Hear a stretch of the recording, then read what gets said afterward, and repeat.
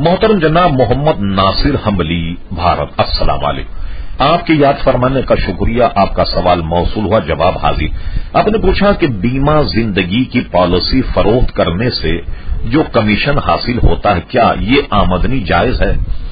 محترم محمد ناصر صاحب، چونکہ آپ بھارت میں رہتے ہیں اگر یہ پالیسی آپ ہندو کو فروخت کریں تو ہندو سے منافع لینا تو جائے اگرچہ ہندوستان دارالاسلام ہے، لیکن وہاں کے کافروں کے لیے احکامات جو ہیں وہ ہر بھی کافر ہی کے۔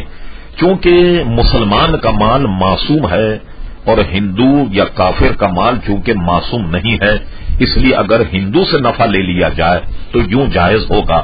لیکن ویسے مسلمان کو بیمہ نہیں کرانا چاہیے، نہ اس کی آمدنی جائز، ہرگز جائز۔